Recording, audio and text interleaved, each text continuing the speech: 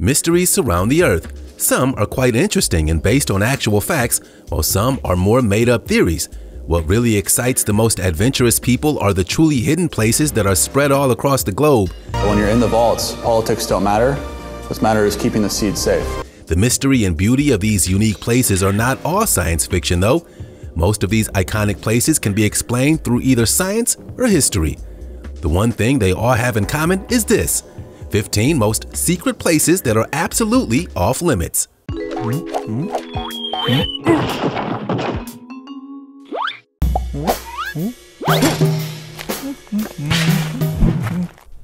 Discovery Island.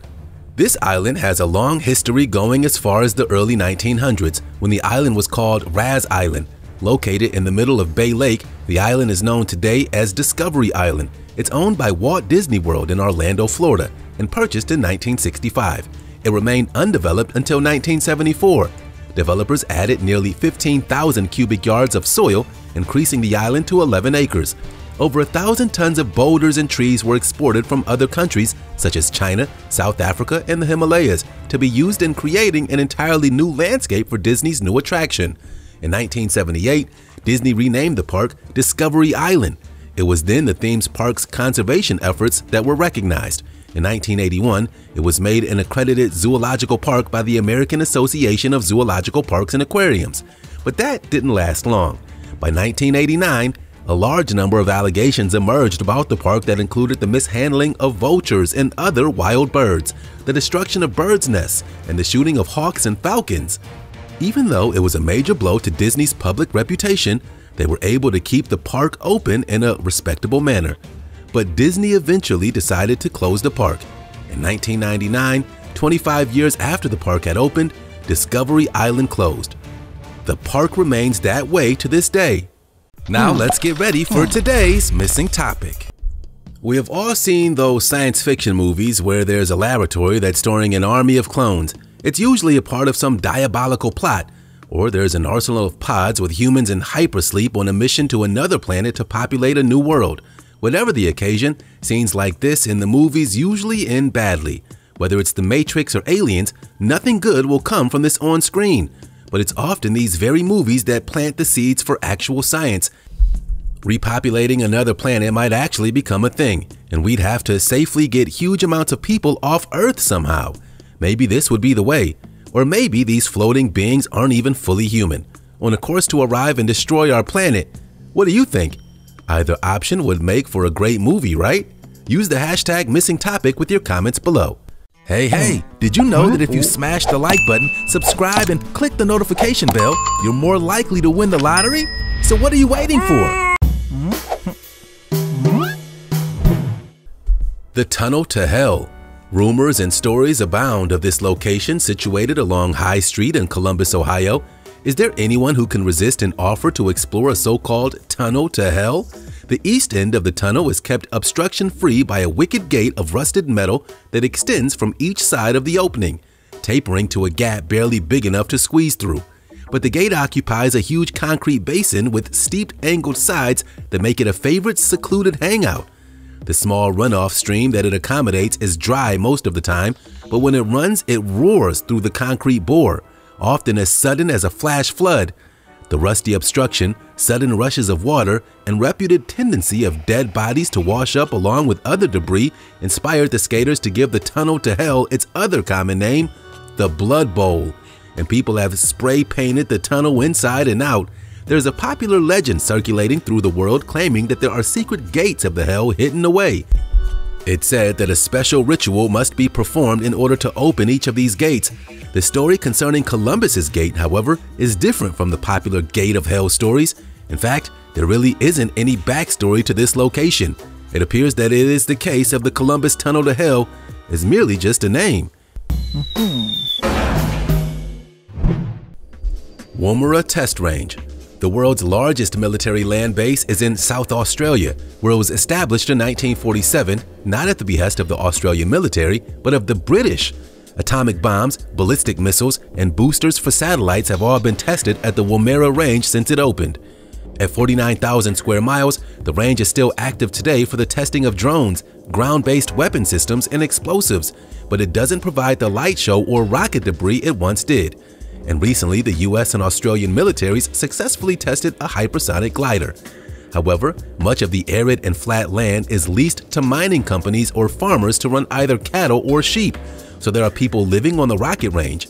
The ranchers have been in the area for decades, some even longer than the test range. Locals are still finding bits and pieces of rockets, satellites, and weather balloons from those early tests. In fact, the William Creek Hotel has the best display of military and space junk found in the area. There's a village of Woomera too, which is the traditional gateway to the test range. It's the only part of the range open to tourists without permits and has places set up to learn about the history of the area. Barra Beach. The wide shallow bay near Barra's northern tip in Scotland was famous primarily for its cockles until aircraft started to use the beach in 1933. It's home to one of the world's most spectacular and most beautiful airports, and it goes back almost a century. Scheduled air services to and from Barra Airport began in 1936, and today it's the only beach airport anywhere in the world to be used for scheduled airline services. Three runways are designated on the beach. Facilities include modern emergency services, though the airport fire crews are called out far more frequently to help stranded dolphins or seals than for any reason connected with the aircraft operations. This too must make the airport quite unique. Barra Airport is 116 nautical miles from Inverness, 140 nautical miles from Glasgow, and 75 nautical miles from the Scottish mainland. An average of 8,500 passengers per year use the airport, and there are more than 1,400 aircraft movements, landings, or takeoffs per year. So you might want to think twice before lying on this beach because it will drastically increase your chances of being hit by an airplane. Flying into or out of Barra can seem a great adventure, but the airport is subject to the same safety rules as any other flight facility. Mm-hmm. Menwith Hill the Royal Air Force Menwith Hill in North Yorkshire, England provides communications and intelligence support services.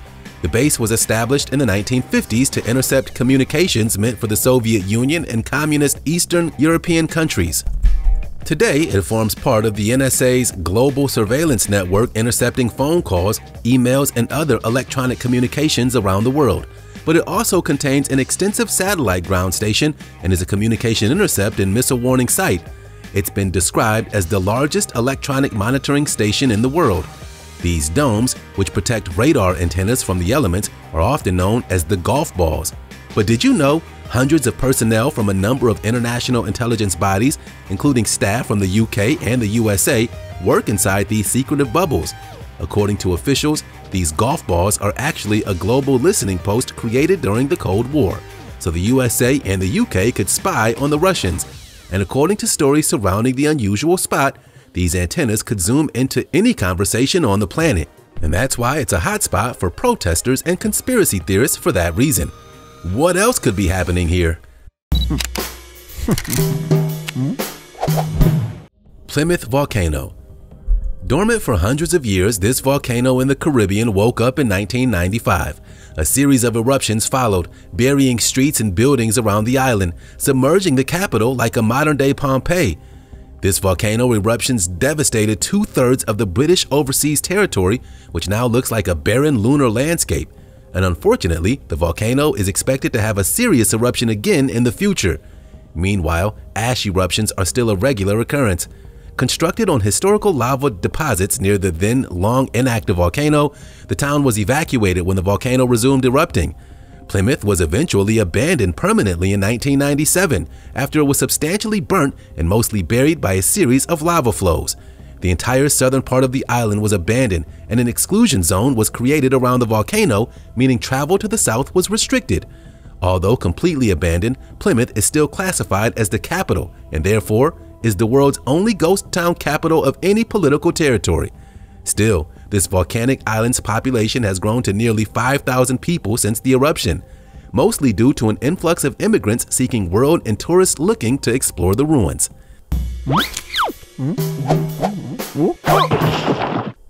Maya Bay One of the world's most popular beaches was made famous by the 2000 film The Beach, starring Leonardo DiCaprio It tells the story of a backpacker's search for a legendary beach untouched by tourism. Obviously, that did not last. Maya Beach has closed indefinitely. The golden sands and crystal blue water, ringed by cliffs, have become one of Thailand's most visited tourist destinations since it shot to fame as the movie's location. But unfortunately, the small beach has sustained extensive environmental damage in recent years, receiving up to 5,000 tourists and 200 boats a day. So, Thai authorities announced they would be closing the bay due to the extent of the destruction caused by the thousands of day trippers. Thanks to the pollution from litter, boats, and sun cream, it's estimated that more than 80% of the coral around Maya Bay has been destroyed. Despite evidence of the mounting damage for years, Thai authorities have been reluctant to shut it down because the location generates millions of dollars in revenue a year. However, Thailand's authorities announced the restrictions on tourism would not be lifted until the ecosystem fully recovers to a normal situation. Good idea. Google Data Center. Google has its data centers in four continents North America, South America, Asia, and Europe. And these centers are the facilities where Google stores and processes all its data. They're high security zones and are completely off limits to visitors to protect against any kind of data breach. The facilities combine large drives, computer nodes organized in aisles of racks, internal and external networking, environmental controls, and operation software. So entering the building, not just the floor, requires that you're authorized. That includes going through a security checkpoint. In the secure perimeter, Google can see where you are via cameras including thermal cameras with overlapping fields of view around the facility. Google can track where a person has been in the facility as well. For those wondering what prevents someone from walking out with drives inside from cameras, there are features such as security and metal detectors for leaving the Google data center so someone does not remove hardware without authorization. And that's not all. There's no official data on how many servers are in Google data centers, but a 2016 report stated that Google at the time had 2.5 million servers. This number is changing as the company expands capacity and refreshes its hardware. Hmm, hmm, hmm. Global Seed Vault. Ever heard of a seed bank? Simply put, it's the ultimate insurance policy for the world's food supply. It gives options for future generations to manage the challenges of a changing climate and population growth. It's not coal or precious minerals like diamonds or gold, but just seeds. Located in the Arctic Circle on an icy mountain between Norway and the North Pole stands a resource designed to secure our future on Earth, the Global Seed Vault. The facility serves a humanitarian purpose and is part of the international system for conserving plant genetic diversity. Millions of tiny seeds from more than a million varieties of food crops are stored there on the Norwegian island of Spitsbergen. It's a long-term storage facility like the huge safety deposit box, built to stand the test of time. Worldwide, many seed banks like this one exist. However, many of these are vulnerable, exposed to natural catastrophes and border conflicts. On top of that, something like a broken fridge can destroy an entire seed collection. That won't happen here it isn't simply just a large storage facility for seeds from around the world. The vault is protecting the world's agricultural genetic diversity and protecting our future in case of catastrophe. The Global Seed Vault will secure for centuries millions of seeds. Mount Weather. Located in the Blue Ridge Mountains, this facility is located 51 miles west of Washington, D.C., and its existence has always been kind of hush-hush. But Mount Weather actually exists. It's a major site for the highest level civilian and military official in case of a national emergency. It's a 564 acre, high security federal government facility. Built during the 1950s, the facility consists of two parts the above ground complex and the 600,000 square foot underground facility. This underground bunker includes a hospital, crematorium, dining and recreation areas, sleeping quarters, reservoirs of drinking and cooling water, an emergency power plant, and a radio and television studio. The facility might be able to accommodate about 2,000 people, but only the President, the Cabinet, and Supreme Court are provided private sleeping quarters. And for years, very few people knew it existed. Mount Weather's existence remained a secret to all but top federal officials till a plane crashed in 1974 in close proximity to the site. But even then, federal officials guarded the areas, not allowing any pictures of the site. The cameramen were not even allowed near the smoking debris of the crash that claimed 90 lives. Today, it has its own leaders, its own police and fire departments, and even its own laws. Club 33. They don't call it the happiest place on earth for nothing. And right here at New Orleans Square in Disneyland is the most exclusive club in California, Club 33. It was cool for the rich and famous to hang out, plus, it was, after all, one of two locations within Disneyland Park to offer booze. Disneyland opened Club 33 in 1967, the year after the company's founder Walt Disney died, and it's a members only dining experience for the uber rich. We're talking very exclusive clientele and a steep price per year to soak it all in. According to one Club 33 member, there's a $25,000 to $100,000 initiation fee and up to $30,000 in annual fees, depending on the level of membership. The venue is lavishly decorated and props from Disney films featured throughout, including a table from Mary Poppins and moving images from the Haunted Mansion ride. Inside the secret club, there are also amazing accommodation facilities, the Disneyland Dream Suite is a 2,200 square foot luxury apartment that sits above the Pirates of the Caribbean ride. Members of the club get other perks as well, including a fast track for long lines, a Disney concierge, as well as free parking. Some of its supposed members include Elton John, Elizabeth Taylor, Tom Hanks, and Christina Aguilera. Pine Gap. This top secret place is called Pine Gap and that's the commonly used name for this satellite surveillance base in the Northern Territory in the center of Australia. High levels of secrecy have existed in the operation since day one, and it's continued for decades. The site is dominated by large golf balls, or radomes, which conceal and protect satellite dishes. They are believed to control spy satellites about 50,000 feet above the Earth, from the base, authorities control satellites that gather information used to pinpoint airstrikes around the world and target nuclear weapons, among other military and intelligence tasks. The base's eavesdropping technology also enables spies to monitor phone conversations from all around the world as well. Born at the height of the Cold War, this place was presented to the public in 1966 as a space research facility. Australian governments were even shielded from what actually goes on there. Even former prime ministers were left in the dark on some matters. As a result, the facility dotted with satellite dishes and isolated in the desert has become a magnet for anti-war protesters and alien enthusiasts who regularly show up to stir up controversy. It's known as Australia's Area 51. Hmm. Monkey Island. As far as unique destinations go, few places have Morgan Island beat. But don't get your hopes up of lounging on the sand.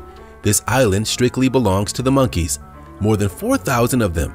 Tucked away in the St. Helena Sound off the coast of South Carolina in the United States, it's made up of more than 2,000 acres of pristine land, and oddly, a whole lot of non-native primates. So how on earth did a colony of monkeys make it to an island off the coast of South Carolina? These sand-colored primates are native to forests in northern India, Nepal, eastern and southern China, and northern Southeast Asia. In the summer of 1979, 1,400 monkeys were placed on the island to use as research animals. Since then, their population has boomed to about 4,000. It was all part of a plan by the US government to establish a self-sufficient breeding program. And Morgan Island was the perfect home. Humans aren't allowed on the island. However, that doesn't mean you can't see them at all. There are boat trips around the island, and when you cruise the coast, you can spot a monkey or two hanging out in the distance. Now the island is both owned and managed by a state-owned conservation organization, and the monkeys are protected under federal law. Vatican Archives These top-secret archives are not public and were once only accessible to scholars once they reached 75 years old. It has 53 miles of shelving, 35,000 volumes of catalog, and 12 centuries worth of documents. It's all housed in one of the most iconic bastions of religion and culture ever, the Vatican's secret archives. Until 1881, not even scholars of Christianity were permitted access to the archive. That's when Pope Leo XIII opened the trove to researchers. As far as the general public knows, the archives contain historical documents, including original letters written by Michelangelo, documents relating to expenditure, correspondence, and even an entreaty written on birch bark by a Canadian indigenous tribe in 1887. Little do we know, however, that beyond the walls lies thousands of magical texts pertaining to the existence of magic and demons. Yet in reality, this place isn't that secret. The archives were, and still are, designed to house official paperwork along with correspondence and other information, plus impressive treasures and art. Still, Conspiracy theories abound over its contents, like wacky speculation that the Vatican is hiding extraterrestrials being inside. Some people speculate that the archives are controlled by secret societies. The Terracotta Army. The story goes like this. A famous Chinese emperor took the throne in 246 BC at the age of 13. Within 20 years, he had unified several warring kingdoms. To commemorate this, he ordered a tomb's construction shortly after taking the throne. More than 700,000 laborers worked on the project that involved a huge terracotta army. Fast forward 1700 plus years, in 1974, farmers digging a well stumbled upon fragments of a life-size clay figure crafted in the shape of a battle-ready soldier. And further excavations revealed this stunning, iconic archaeological discovery. The emperor's tomb had endured all these years. The terracotta army, as it's known, is part of an elaborate mausoleum, or tomb, created to accompany the emperor of China into the afterlife, according to archaeologists. After the tomb was discovered, the site became a museum and a World Heritage Site in 1987 for people worldwide to enjoy. To date, almost four pits have been partially excavated. Three are filled with the terracotta soldiers, horse-drawn chariots, weapons, and include a mix of cavalry, armored soldiers, and archers. But what about that fourth unfinished pit? Apparently, archaeologists suspect that the unexcavated tomb could contain an entire replica of an ancient city. Impressive, to say the least. Since it's almost impossible to even reach most of these places, these videos make them a little less off limits. We want to visit even more now. Stick around for more great videos and like and subscribe while you're here.